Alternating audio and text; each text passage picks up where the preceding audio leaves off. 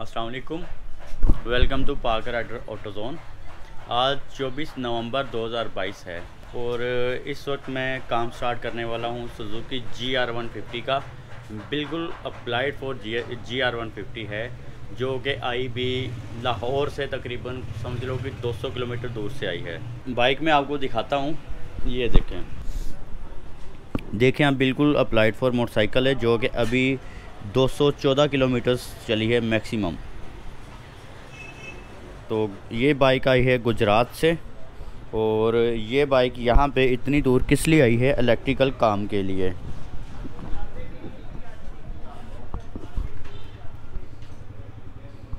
अब जी आर का मैं कौन सा इलेक्ट्रिकल काम करने वाला हूँ, मैं आपको बताता हूँ, दिखाता हूँ आपको कि कौन कौन सी चीज़ हम इसको लगाने वाले हैं।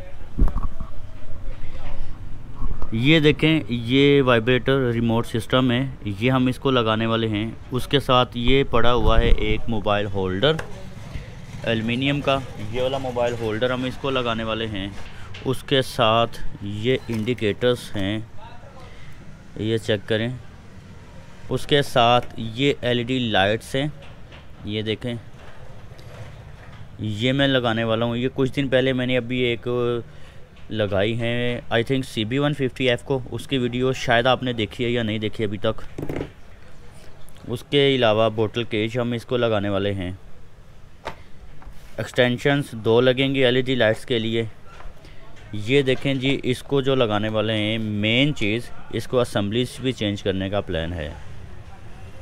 ये असम्बली देखें आप, ज़्यादातर जो असम्बली चलती हैं मार्केट में, उससे ज़रा यह डिफरेंट स्टाइल है। इसमें हॉर्न का बटन उन्होंने रेड कलर का दिया है। और ये सारी फिनिशिंग इसकी ऐसी है कि जैसी ये मेटल की है। बाकी चेक कर लेते हैं कि वाकई मेटल है या नहीं। ये नीचे वाला पार्ट जो है ये नीचे वाला जो एरिया है ये मेटल का है ऊपर भी मेटल है। ये इसका हॉर्न का बटन इंडिकेटर्स का लाइट हाई लो का इसका डिपर इस तरह से है कि ये जो हाई लो वाला बटन है ना, इसी को आपने पुश करना है लो वाली साइड पे तो ये डिपर करेगा। और ये इसका हैज़र्ड का बटन है ऊपर वाली साइड पे। अगर ये इस तरह से आएगी असम्बली तो ये देखें, इस तरह से आप इसे ऑपरेट करेंगे। ये डिपर और ये इसका हैज़र्ड राइट साइड वाली असम्बली की अगर बात करें तो उसमें देखें आप सल्फ का बटन रेड कलर में है लाइट्स का बटन ऑन ऑफ़ का। उसके बाद ये देखें जी। ये इसका किल स्विच का बटन है। ये न्यू स्टाइल बटन है, जैसा कि आप देखते हैं अक्सर फ़ैन वगैरह का डिमर होता है, उसी तरह से है ये। वॉल्यूम बटन जिस तरह से होता है प्री का या फ़ैन का होता है डिमर उस तरह से है इसका किल स्विच ऑन ऑफ़ ये बटन है, ये हम इंशाल्लाह एलईडी लाइट्स को लगाएँगे। और बाकी देखते हैं और क्या काम इसका एक्स्ट्रा भी अगर हम कुछ ऐड करना चाहते हैं तो वो भी ऐड करेंगे। जैसा कि ये three in one digital meter हम इसको लगाएँगे।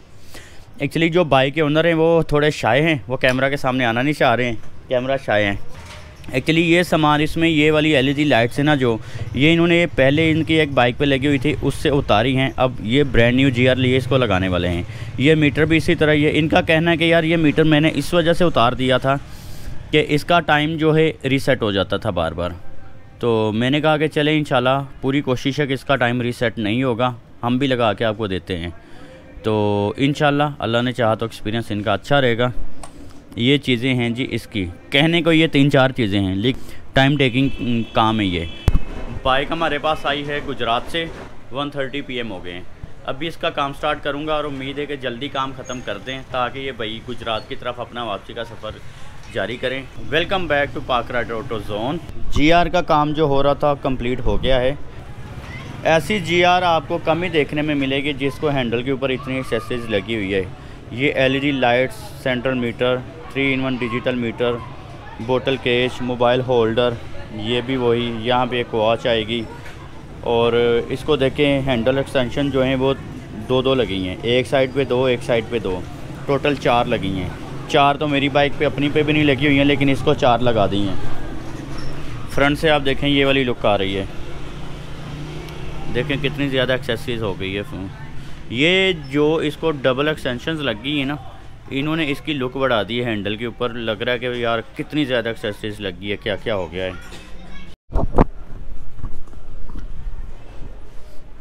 अब इसकी जो एलईडी लाइट्स ये वाली आप देख रहे हैं ना ये वाली इनकी थ्रो आपको चेक करवाते हैं इसे बाहर ले जाके ज़रा फिर।